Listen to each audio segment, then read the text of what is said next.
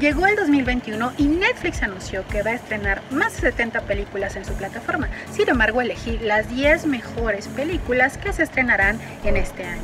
Mad Max. Este remake nos cuenta la historia de un mundo posapocalíptico. Rascacielos. Esta historia es protagonizada por Downey Johnson, el cual es un jefe de seguridad. El agente Cipoll. Dos agentes de diferentes países se ven involucrados en un mismo caso.